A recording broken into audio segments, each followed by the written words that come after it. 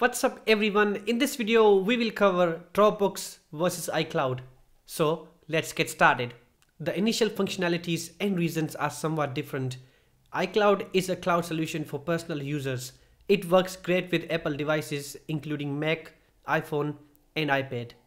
You get a folder to access the drive on all the platforms. Of course, iCloud is used for backup and restoring purposes mostly. Dropbox on the other hand is an all-rounder and they offer plans for individuals as well as teams. It can be used for personal stuff but I won't recommend because it only offers 2GB of storage which is not enough in this HD world. Moving to platforms, both are available for desktop PCs. Dropbox is also available for Android and Windows Phone. Both can also be installed as a progressive web app on Windows PC on Microsoft Edge.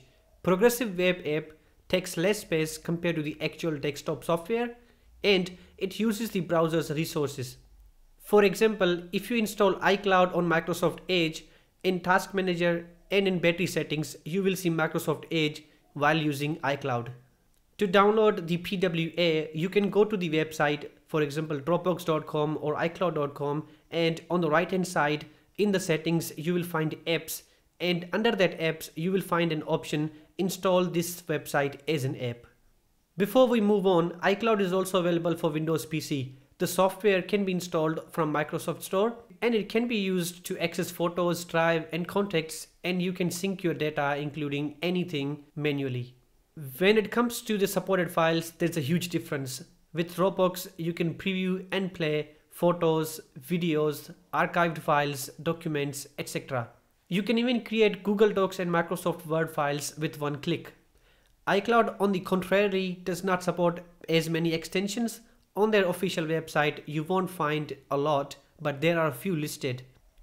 And of course after testing I can assure that iCloud can preview and play some photos, videos and some text formats. Anyway, let's talk about the apps. Now iCloud doesn't support any third-party apps but Dropbox does. You can install and connect plenty of applications with your Dropbox account. For example, installing Canva app will allow you to create images and infographics and of course edit the existing images quickly. In terms of the upload limit, I believe it's a tie because both offer to upload a file of maximum of 50 gigabytes. The final round is about pricing. Dropbox offers individual as well as team plans. The individual plus plan gives you 2 gigabytes of storage for $10 per month. You get access to Smart Sync, document scanning, and a lot more.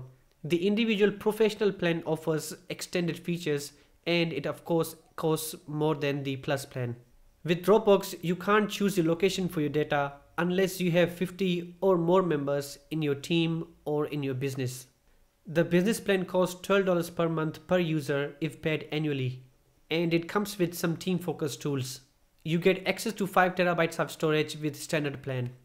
iCloud on the other hand offers 50 gigabytes, 200 gigabytes and 2 terabytes of storage where you pay $1 for 50 gigabytes, $3 for 200 gigabytes and $10 for 2 terabyte storage.